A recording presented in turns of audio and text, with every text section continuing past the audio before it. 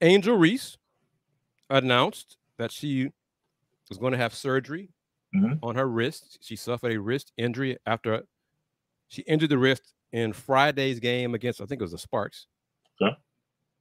And surgery was recommended because if not surgery, the wrist really, the way the bone is a hairline fracture in, in the bone, there's not enough blood flow really, because it's a unique, quirky injury.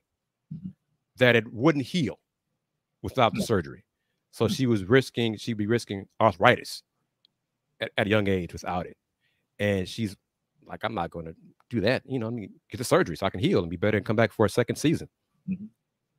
Eh, But see, some folks like Tran, Trans comment are hating on her like that, that she's faking it. Why was she faking injury?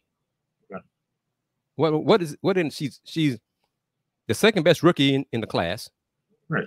She's already broken rebounding records. Why why would why would she fake it? And then some folks are saying, apparently, so much so this that she's pregnant.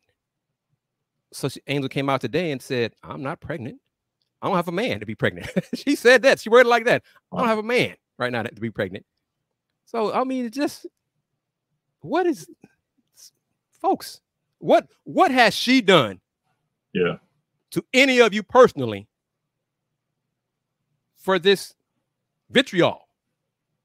I, I, I just don't I don't get it. What is you know, but whatever. Anyhow, folks have their opinions. Salute to them. And they, hey, Chennedy Carter came back Friday, but yesterday, Chennedy Carter scored 28 points and helped Chicago win and hold on to that eighth spot, at eighth and final spot, playoff spot. They got a one game lead over Atlanta, two game lead over Washington with five games to go. So they have a good chance to uh, be that make the playoffs. And another reason why would Angel fake it? Because if they make the playoffs, she'd have more time to play in the playoffs. so why why why don't you do that? You know, to increase her brand, to help her team win in the playoffs, on and on like that.